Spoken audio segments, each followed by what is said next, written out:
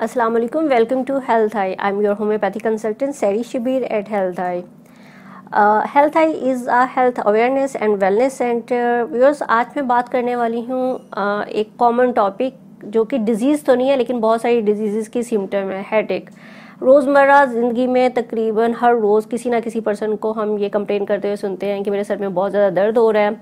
और जो है ना टेंशन की वजह से सर दर्द हो रहा है या ब्लड प्रेशर की वजह से सर दर्द हो रहा है, नींद ना पूरी होने की वजह से सर दर्द हो रहा है तो जान, जानते हैं कि सर दर्द असल में होता है क्या है? पहले ही बता चुकी हूँ कि जो सर दर्द है, ये बाज़ार खुद एक बीमारी नहीं बल्कि दूसरी बीमारियों की सिम्टम्स है। बहुत सारी बीमारियों में सर दर्द होता है, आमतौर पर टेंशन की वजह से भी सर दर्द होता है, नींद ना पूरी होने की वजह से भी सर दर्द हो जाता है। जिन लोगों में खून की कमी होती है, ज़्यादातर फीमेल जो कि एनीमिक होती हैं, उनमें एच लेवल कंप्लीट नहीं होता। वो भी ज़्यादातर कंप्लेन करती है कि उनको सर दर्द रहता है। इसके अलावा भूख पूरी ना होने की वजह से मतलब आप प्रॉपर टाइम पे खाना नहीं खाते, उस वजह से भी सर दर्द होता है।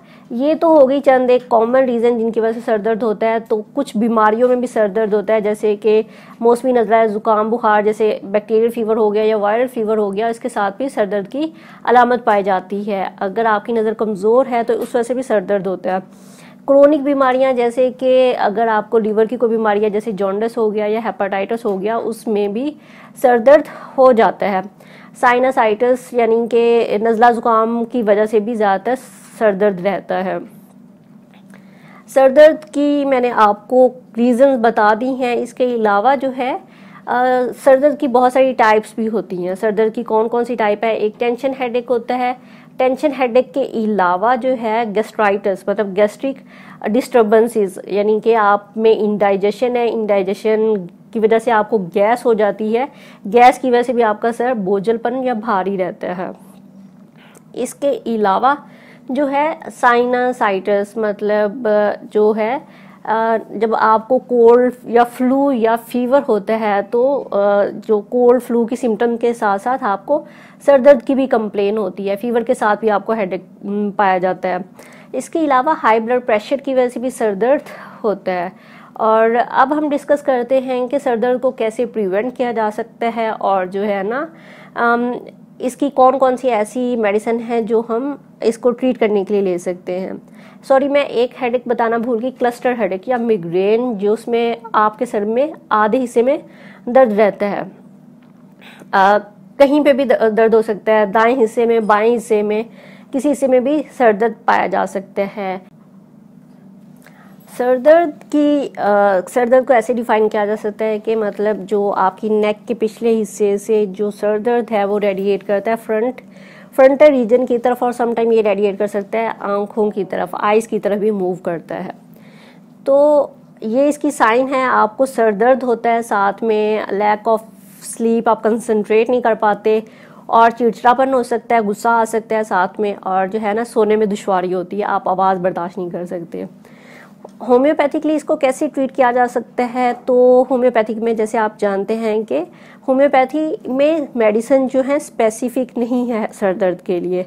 जनरल मेडिसिन है जो कि पर्सन टू पर्सन वेरी करती हैं। लेकिन मैं फिर भी आपको एक होम्योपैथिक फार्मूला बताऊँगी जिससे आप घर में अगर ये मेडिसिन ले लेकर रखें तो आप घर में ही इनका इलाज कर सकते हैं। कौन ये मेडिसिन जो मैं आप, आपको बताने जा रही हूँ उन मेडिसिन के नाम आप नोट डाउन कर सकते हैं। ये तीनों मेडिसिन जो हैं टिंचर की फॉर्म में अवेलेबल हैं। Belladonna mother tincture second medicine iris versicolor ये सेकंड मेडिसिन है और ये जो है आ, ये भी टिंचर की फॉर्म में अवेलेबल होती है। थर्ड मेडिसिन हमारे पास पैसीफ्लोरा पैसीफ्लोरा भी जो है हेडेक को क्योर करने में हेल्प करती है। ये भी मदर टिंचर फॉर्म में आपने लेनी है। थर्टी एम की किसी सी भी होम्योपैथिक मेडिकल स्टोर से आप ये मेडिसिन परचेज करें। उसके बाद आप इक्वल क्वांटिटी में किसी भी एक फॉइल में ये medicine M T oil oil में ये आप मेडिसिन जो है इक्वल क्वांटिटी में पोर करें। उसके बाद इसको शेक करें और जब भी आपको सर दर्द हो तो इसको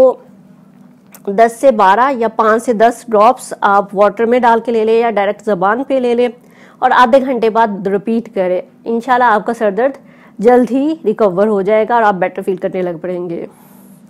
तो उम्मीद करती हूँ ये मेडिसिन बहुत ज़्यादा इफ़ेक्टिव होंगी। आप कमेंट सेक्शन में हमें इसके रिज़ल्ट से ज़रूर आगाह करिएगा और किसी भी मेडिसिन के बारे में या डिज़ीज़ के बारे में इंफॉर्मेशन लेने के लिए हमें कमेंट सेक्शन में ज़रूर आगाह करें।